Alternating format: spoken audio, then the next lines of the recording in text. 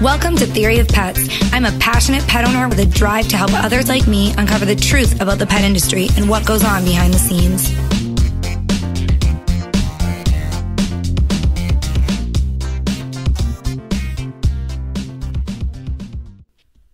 Having your pet get lost is one of the biggest nightmares for every pet owner. We all worry about it. And today I wanted to talk to an expert who could give us some advice on how to prevent our pets from getting lost and also what we can do to ensure that they come home as soon as possible in the event that they are lost. I was fortunate enough to have a conversation with Aimee Gilbreath, and she's the executive director of the animal welfare nonprofit Michelson Found Animals. There is a link to their site on our page, um, theoryofpets.com. And if you're watching this on YouTube or social media, the link to that um, will be found right underneath this video. Michelson Found Animals is a nonprofit animal welfare organization that's committed to keeping pets safe at home with their pet parents. Um, they offer lots of solution based programs like um, microchipping, spay and neutering services. Um, they also have grants for research into non surgical spay and neuter methods, which uh, Aimee touches on briefly at the end of our interview. You'll hear her talk a little bit about that. Um, what they're best known for is um, that they are the first free national microchip registry for pet parents. Um, so I'm going to let Aimee tell you about some of the things that um, Michelson Found Animals offers and also some of the things that we can do every day as pet owners to ensure the safety of our pets and keep them home safe with us. My name is Aimee Gilbreath, and I have the great pleasure and honor of being the executive director of the Michelson Found Animals Foundation, a job that I have held for almost 10 years. It'll be my 10 year anniversary in March. Wow, congratulations. Oh, thank you. It's the longest I've ever had any job, and I never thought I'd work in animal welfare, so that's saying something. Our mission here is saving pets, enriching lives, and we do that in a whole variety of ways. Nationally, we offer the microchip program that we're going to talk about today. We also do some funding for animal welfare groups nationally. And then in Los Angeles, we almost function like a shelter or humane society would. We have adoption programs and spay neuter programs, public policy programs. We have an amazing volunteer program. So it's all pets all the time. Wow, that's exciting, but it sounds really busy at the same time. It is really busy, and it does come with a big supply of lint rollers. I bet. So you guys, yeah, I can't go anywhere. So I have one in my. No, I was just gonna say I literally I have a lint roller in my briefcase, in my car, in my office, in my home so that I can both work with pets and occasionally look like a professional adult. we have two dogs and four cats, so I completely understand the battle of the hair. We do that every single day. So I am also going to link to your website. Um, Allie sent that to me and I checked it out a little bit. Um, so today we're going to talk about um, lost dogs, which is every pet owner's nightmare. Lost pets, even not not just dogs, but cats too. Um, so you guys, it, a big part of what you do is um, educating and helping pet parents get microchips for your dog or cat. Can you tell us exactly what a microchip is and how they work? A microchip is a tiny little electronic device about the size of a grain of rice, and it actually has an RFID technology embedded in it. It's what's called passive RFID, and what that means is that the device just stores a number and one little circuit and in order to tell someone at a veterinary office or a shelter its number so that they can reunite you with your pet, it has to be activated by a scanner. So the scanner and the microchip are a system that needs to work together. So shelters and vets offices have scanners, and it's standard practice everywhere in the country that when a lost pet comes in, they scan for that microchip. The scanner and the microchip talk, and the microchip tells the scanner its number. Think of it almost as a social security number for your pet and then you're able to look up that number in a database and connect the number of the chip to the pet owner's contact information. What's really important about that, though, that people sometimes forget is because that microchip only stores the number, you have to keep your microchip number registered in a database with your up-to-date contact information so that a shelter or a veterinarian can reunite you with your lost pet. Oh, of course. Yeah, I, I can definitely see how that would happen. I we forget, you know, we've forgotten in the past when we've changed a phone number or moved to a new address to update just our dog's tag. So um, I'm sure that people forget. You must have to go online to do that. Yes, you can come to our website. It's always free, which is one of the things that makes our registry different. It's one of the things that we think is important to do as a nonprofit is we never want cost to be a barrier to registering that chip or keeping the information up to date. So regardless of what brand of microchip you have or where you got it, you can always come to our site and update that microchip, change the contact information. I sometimes even update my contact information if I'm traveling. If I go home to see my family, I change my emergency contact from my boyfriend in Los Angeles to my family in Phoenix so that they'll get the call if something happens while we're traveling. Oh, that's an excellent tip for pet owners that travel with their pets frequently. That's awesome. So, can pet or should pet owners, I guess, um, are there any like dangers to the pet's health that could be caused, or um, is it painful when a dog is microchipped? Microchipping is not any more painful than a vaccination. So it does involve being uh, stuck with a needle, and some dogs and cats do feel it and notice it and don't love it. Others ignore it, act like nothing ever happened. There's not any significant danger to being microchipped. As with anything like a vaccine, when you break the skin, there's always a danger of infection. So very rarely you will hear about infections from a microchip insertion. And that's why the vet or technician who's doing it will sterilize the area before they implant the microchip. There have long been rumors that microchips cause cancer in pets, but actually all of the veterinary groups out there have looked for evidence of that and not found any. So they are very safe. And there's no pain after the initial injection, either for an animal, you know, around like where the microchip is. No, it's a little prick, and then they're all done. That's great. So, where if a if a pet owner wanted to go um, to have their pet microchipped, would you recommend going to the vet? Are there other places? Are there um, like I know in our area they do rabies and vaccination clinics that are a little bit cheaper sometimes than going to the vet. Is there anything like that that pet owners should know? The most common place that people get their pets microchipped are either at the shelter or at their private veterinarian. Private veterinarians will tend to charge a little bit more. It could cost you in the neighborhood of fifty to seventy-five dollars, whereas sheltering agencies and vaccine clinics sometimes offer it for much less. I know in our adoption centers we do microchip Mondays for ten dollars every week. So if you shop around, you can usually find reduced cost options or even free options if cost is a consideration. Oh, that's excellent. And I know um, in some of the shelters, our, our animals are rescues. And I know um, in the last few years, the shelters in our area, um, just like pets come spayed and neutered, they will come with microchips too, um, as well if you adopt.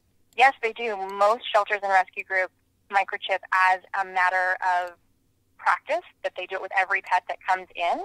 So that's fantastic. You just, as the pet owner, need to make sure that when you adopt that pet, you get all the information so that you can register that microchip in your name and get your contact information attached to it so that if your pet's ever lost, the call comes to you instead of to the rescue or shelter. Yes, absolutely. Of course, that's an excellent tip as well. Um, so let's just say your pet doesn't have a microchip. Um, a lot of people that ask me questions about it, you know, they're thinking about it, but like you said, there's some misinformation about there, um, out there about like, for example, it causing cancer um, or being painful or things like that. So they haven't done it quite yet. So let's say your pet isn't microchipped and he gets lost. Um, do you have tips for pet owners who have un- unfortunately experienced that? I do. The first tip would be make it less likely for your pet to want to wander. So do spay or neuter because often, especially for male dogs, them getting excited about a female in heat is what causes them to go explore in the first place. So you can lessen your chances by making sure your pet's spayed or neutered. Yeah, and then as soon as your pet gets lost, as soon as you realize your pet's gone, you need a plan. And that is everything from having good photos of your pet, posting them on social media, asking your friends and family to help you look, searching around your neighborhood, um, having an ID tag on your dog or cat so that hopefully a neighbor who finds them can bring them straight home without ever even going to the shelter. That said, if you don't find your pet right away in your neighborhood, you should know where your local shelters are and file a lost pet report with them along with flyers in places around the neighborhood, and then keep checking back because sometimes a dog or cat will be on their own for a couple of days before they end up at the shelter. So it could be that when you first called the shelter or visited the shelter, your pet wasn't there, but a couple of days later they are. Excellent. So, are there any products available for pet owners? Obviously, we talked about microchipping, and you did mention ID tags as well. Um, would you recommend any other products for pet owners who are trying to keep their pet from getting lost? There are some um, GPS collar attachments out there, and I actually have one on one of my dogs who is a little skittish. So those can be a valuable tool, particularly if you know that you have an animal that is prone to getting out. What I will say, though, is that none of those have an extended battery life. So if you're going to use a GPS collar as a backup, you have to remember to be very vigilant about charging it every two or three or five days so that it will be working if and when your pet gets out. Yeah, excellent. And um, I love what you said about a skittish dog. We have one of our pets is skittish as well. As I mentioned, um, ours are all rescues. And so um, our little beagle is very timid. She's great with me and my husband, um, but I I would be afraid that if she ever got lost, um, I don't think she would ever come to a stranger. Maybe if she got, you know, hungry enough or she was out for long enough, she might. But um, I love that idea of equipping them with a GPS tracker, um, especially in that instance if you're afraid that your pet might not go, you know, up to a stranger or, you know, into somebody else's yard looking for a, a house to go in. Um, you know, that's a great idea. It is. My older dog is the kind of dog that as soon as he realizes he's out, he's going to go looking to the first human because he wants to be warm and he wants to be fed. But my younger dog is one that she would just run and run and wouldn't come to anyone. And so in that situation, if you've got a pet like that, it might be worth the investment both in time to keep the collar charged and then in, in money to pay for the device and then for the ongoing network fees to keep it on the GPS network. Yeah, absolutely. Do you have any other tips for pet owners when it comes to like microchipping or preventing um, animals getting lost? The biggest thing I would say is to be prepared. We talk to a lot of people who think that their pet's never going to get lost. It's an indoor animal, it's a dog that's with them all the time, or a cat that never leaves the house. And what people tend to forget is the circumstances outside of our control the natural disaster, the flood, the fire, the friend's child that leaves the front door open, uh, the gardener that leaves the back gate open. So my biggest tip is even if you think your pet will never get lost, please prepare yourself and prepare them so that if they do, you have the best chance of getting them back home. Absolutely. We live, um, I'm in very rural area in Maine, and um, a lot of people in our area fence their yards in. We don't have a lot of homeowners associations or anything like that where that stuff's not allowed. So it's it's very common here for pet owners to fence in their yard. And I often hear people, you know, when I I talk about um, ID tags or microchipping, they'll say, "Oh, our dog's in a fence, so he's fine," um, and they kind of forget that a fence could be dug underneath, or some dogs can even climb over fences, um, or the gate can get left open. I mean, there's always some risk of your dog getting lost. Obviously, if they're just out free roaming in the yard, it's a little bit more. But um, I think that's really important for pet owners to remember that even if your dog is, um, you know, on a run or in a fence, that it is still possible. So having that backup plan kind of ensures that you're not going to have to be searching for a lost dog. Yeah, we love them like family, and so when they get lost, it's really scary and heartbreaking and it's good to know that you've done everything you can. So we always recommend a collar with an ID tag and a microchip, and then if you want to go the extra mile and add a GPS device, you can do that too. Absolutely. So um, that was all my questions on um, microchipping, but did you want to talk about the Michelson Found Animals um, Foundation or anything like that? Uh, sure, we can we can give you a, a little bit on that. Yeah, absolutely. I mean, that's great. And I'm sure it would be some good publicity for you guys as well. Yes, please. Thank you. Great. So you're the executive director of um, animal welfare, which is, it sounds like a really big job. I mean, you explained a little bit about what you do, and you kind of, it seems like you you guys are into a lot of different things between microchipping and adopting and fostering. Um, so what is it that um, when you know people think of the Michelson found animals, what what would they what are you known for the most, I guess? Amongst pet owners, what we're known for the most is our free microchip registry. That's really a great tool to be able to keep your microchip up to date and registered. We also offer a lot of other resources and support. So whether that is a blog post to help you deal with cat allergies, or we do Facebook Live videos every couple of weeks and we talk about how to pick the right food for your pet or dog training tips. We really are a bit of a one-stop shop for all things pets. We want to support people in having the best possible relationship with their dog and cat. That is excellent. Um, I, I, so I got on your website just a little bit to do some research, um, and I'm like I said, I'll link to that for anybody listening either on YouTube or through our podcast channel, theoryofpets.com. Um, there'll be links on both of those to get to Michelson Found Animals, um, and so I noticed some great resources on there. There's also tips for anybody that maybe wants to get involved. Um, there's some great information. We always um, advocate for for adopting dogs instead of, um, you know, shopping for puppies. So there's some great information if you're thinking about adoption. Um, one of the things I noticed on your site that you offer education for um, potential pet parents about is fostering and i think that's something that gets overlooked a lot by people who um, you know they're a dog or a cat lover um, but they maybe think that they can't commit to a full time, you know, being a full time pet parent um, for a long term. Obviously, if you get a, a cat, um, you might be a pet owner for upwards of 20 years sometimes, and um, dogs can be 10 years or more. Um, so, when you do adopting and fostering, um, do you have any tips for pet parents that might be thinking about that, or potential pet parents that might be thinking about that?